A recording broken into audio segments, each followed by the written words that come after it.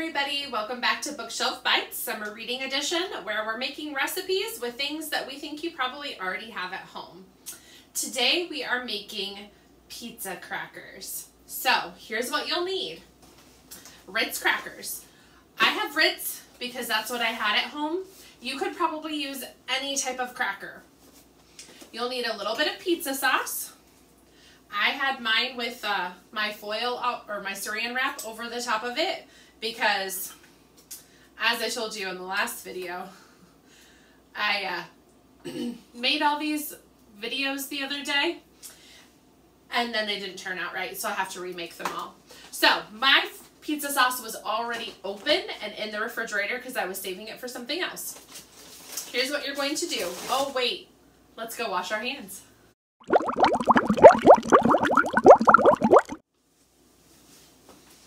All right, so pizza crackers are gonna be super fast and super easy. I already preheated my toaster oven to broil. And I picked broil so that it would melt the cheese and warm everything up on the top, but not really cook my cracker underneath. Um, if you don't have a toaster oven, you could use your regular oven set on broil, or you could probably microwave these as well. The, everything might not get quite as crispy, but you could still do it. Um, I have not chosen, I didn't have any pepperoni on hand and I couldn't find any at the store, but you could put pepperoni, you could put Canadian bacon, you could cut up some vegetables, you could put pineapple on it, whatever you would like to do.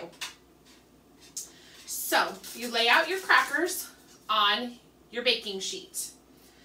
If you are doing this in the microwave, remember you cannot use a metal baking sheet in the microwave.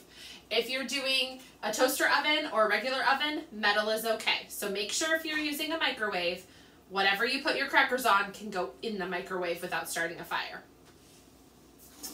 Um, also, if you're using a toaster oven or a regular oven, you might need a big person around to help you take things in and out because it will be hot, okay? So make sure you're using safety measures. Make sure you have oven mitts and hot pads and all that good stuff, okay? So now that you have your crackers laid out, add just a little bit of pizza sauce to the top of every single cracker. And that is up to you. You measure that with your heart. However much pizza sauce you want on there, you can sure have it.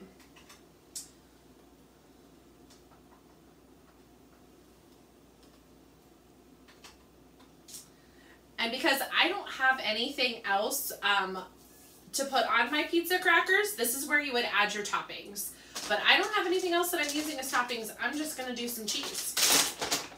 So then you'll take a little bit of cheese and put it on top of the cracker and sauce. And you want to try to make sure to put the cheese on the top of the cracker rather than getting it all over the pan because then it will melt to the pan and then you'll have a, a big old mess to clean up.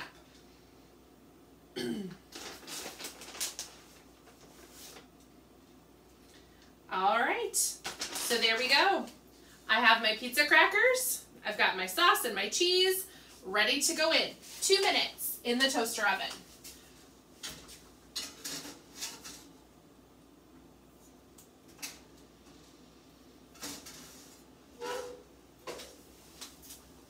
So while our pizza crackers are cooking, let's clean up. We can put our cheese away.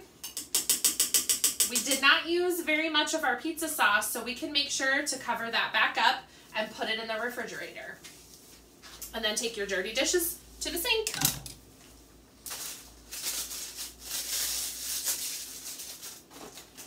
Anytime you're cooking, you always want to make sure to clean up after yourself and save ingredients if you can.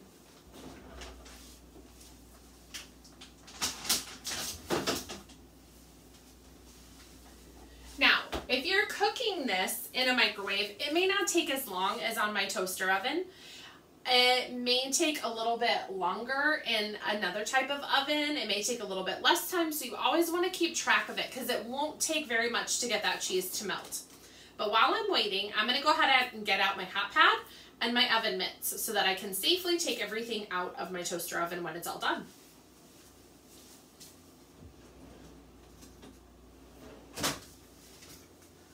And my broiler didn't actually turn on when I turned it on, so it might take even a little bit longer for mine to cook today.